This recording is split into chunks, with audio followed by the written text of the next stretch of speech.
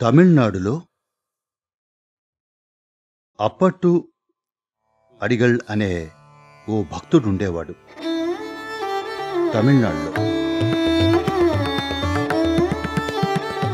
తనకి శివుడు నిజంగా తెలియదు కాబట్టి ఓ శివభక్తుణ్ణి పూజించడం మొదలుపెట్టాడు. తిరునోక్కరసర్ గొప్ప శివభక్తుడు.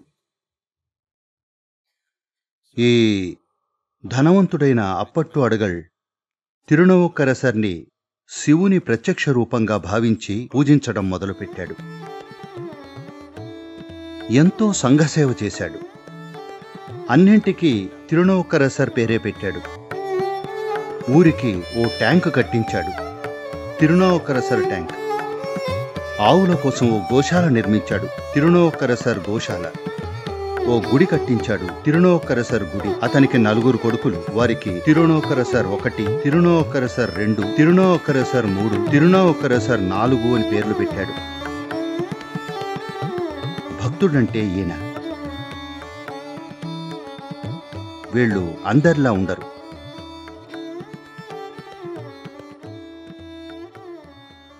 అయితే ఓ రోజు శివభక్తుల్లా కనిపిస్తున్న ఒక ఆయన వచ్చాడు నుదుటిపై విభూతి పెట్టుకునున్నాడు. అతను ఆ ఊరి వారిని ఈ నీళ్ళ ట్యాంకుకి తిరునావుకరసర్ ట్యాంకు అని పేరెందుకు పెట్టారు? అని అడిగాడు. అందుకు వాళ్ళు అప్పట్టు అడిగల్ తిరునావుకరసర్కి గొప్ప భక్తుడు. అందుకే అతను అన్నింటినీ తిరునావుకరసర్ అని పిలుస్తాడు. నలుగురు కొడుకుల పేర్లు తిరునావుకరసరే. ఇంటి పేరు తిరునావుకరసర్. ప్రతిదీ తిరునావుకరసరే అని బదులిచ్చారు.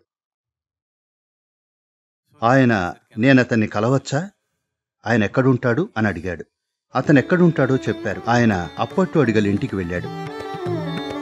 అప్పట్టు అడిగల్ ఉదయాన ఇంట్లో వంట పూర్తవగానే ఇంటి బయట వీధిలో ఎదురు చూస్తూ ఉంటాడు. ఎవరు వచ్చినా దయచేసి మా ఇంటికి విచ్చేసి భోజనం చేస్తారా? అని అడిగేవాడు. Anybody passes this way can you come and eat in my house అతని ఆనందం అది అతనక్కడ ఎదురు చూస్తున్నాడు. అప్పుడు ఆ శివభక్తుడు అటుగా వచ్చాడు. అప్పట్టు అడిగాడు ఈ శివభక్తుడు రావడాన్ని ఓ గొప్ప వరప్రసాదంగా భావించాడు. అతన్ని ఆహ్వానించి లోనికి తీసుకెళ్ళాడు. ఆపై తన నలుగురు కొడుకులను పిలిచి పరిచయం చేశాడు. తిరునావుకరసర్ ఒకటి తిరునావుకరసర్ రెండు తిరునావుకరసర్ మూడు తిరునావుకరసర్ నాలుగు అని. అతని భార్య ఆయన ఆశీర్వాదం తీసుకుంది. భోజనం ఏర్పాటు చేద్దామనుకున్నారు. తన పెద్ద కొడుక్కి తోటలోకి వెళ్ళి ఒక అరిటాకు కత్తిరించి తెమ్మని చెప్పాడు. ఇక్కడ మీరు తింటున్న విధంగా అరిటాకులో వడ్డించడానికి. ఆ పిల్లాడు అరిటాకు కత్తిరించడానికి వెళ్ళాడు.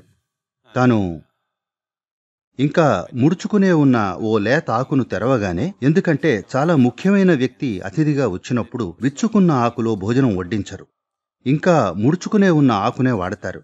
అందుకని ఆ ఆకుని కత్తిరించాలనుకున్నాడు. ఆ ఆకును కొయ్యగానే దానిలో నుండి ఓ నాగుపాము బయటికొచ్చి అతని మెడపై కాటేసింది. ఆ పిల్లాడు పరిగెడుతూ ఇంట్లోకొచ్చి పెరట్లో పడిపోయాడు. పరిగెత్తుకుంటూ వచ్చిన వాళ్ళ అమ్మతో నాకు పాము కరిచింది అని చెప్పి నోట్లో నుంచి నొరగలు కక్కుతూ కుప్పకూలిపోయాడు వాళ్ళమ్మ భయపడిపోయింది. తన భర్తను పిలిచింది. అప్పట్టు అడిగల్ ఏం జరిగిందో చూశాడు. ఇప్పుడు కనుక ఈ విషయం తెలిస్తే ఆ శివభక్తుడు వాళ్ళింట్లో భోంచేయడు. ఆతిథ్యం భంగపడిపోతుంది. అందుకని ఒక చాప తీసుకుని పిల్లాడిపై కప్పి పెరట్లోనే ఉంచాడు. తన భార్యతో నువ్వు నీ దుఃఖాన్ని ఏమాత్రం కనబడనీయకూడదు. మనం ముందు ఆయనకి భోజనం పెట్టాలి. ఆయన వెళ్ళిపోయాక ఏం చెయ్యాలో అది చేద్దాం అన్నాడు. భార్య కూడా సరేనంది. వాళ్ళు అంతా సిద్ధం చేసి శివభక్తుడికి వడ్డించబోతున్నారు. ఆయన కుటుంబం అంతా తనతో పాటు కలిసి భోజనం చేయాలని కోరాడు. ఆయన మీ పెద్దబ్బాయి ఎక్కడా? అని అడిగాడు. అప్పట్టు అడిగల్ తాను బయటికెళ్ళాడు మనం భోంచేద్దాం అన్నాడు. ఆయన లేదు మీ అబ్బాయి ఎక్కడా? చూడబోతే మీరేదో దాస్తున్నట్లుంది అన్నాడు.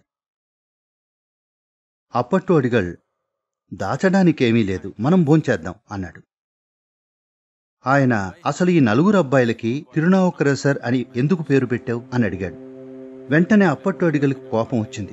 ఇలాంటి ప్రశ్న అడగడానికి మీకెంత ధైర్యం? తిరునావుకరసర్ ఎవరో తెలుసా? ఆయన సాక్షాత్తు శివుని ప్రత్యక్ష రూపం. మీరిలా మాట్లాడకూడదు అన్నాడు అప్పుడు ఆయన నేనే తిరునావుకరసర్ని అన్నాడు. వారంతా ఆయన పాదాలపై పడ్డారు. తిరునావుకరసర్ మీ అబ్బాయికి ఏమైంది? అని అడిగాడు. అప్పట్టు అడిగాడు. తనకి పాము కరిచింది. కాని మేము మీకిస్తున్న ఆతిథ్యాన్ని భంగపరచదలుచుకోలేదు. మీరు మంచిగా భోంచేయాలి అనుకున్నాం అన్నాడు. వారిలా అనుకున్నది ఆయనే తిరునావుకరసర్ అని తెలియకముందు. ఆయన్ని ఎవరో రోడ్డున పోయే భక్తుడని అనుకున్నప్పుడు. అప్పుడు తిరునావుకరసర్ మీరలాంటి పని చేయకండి. ఆ కుర్రాడినిలా తీసుకురండి అని కొన్ని శక్తులను వాడి ఆ కుర్రాడికి విషం నుంచి ఉపశమనం కల్పించి మళ్ళీ బతికేలా చేసి వారిని దీవించి వెళ్ళిపోయాడు. వీరంతా వేరే రకం మనుషులు. పూర్తిగా వేరే రకం. వారి ప్రపంచానికి చెందినవారు కాదు. వారి పాదాల్లో ఒకటి మాత్రమే ఈ భూమి మీద ఉంది. వారి పద్ధతులు వారి జీవన విధానం వారికున్న శక్తి దాంతో జీవించిన తీరు అన్నీ పూర్తిగా వేరే లోకానికి సంబంధించినవి.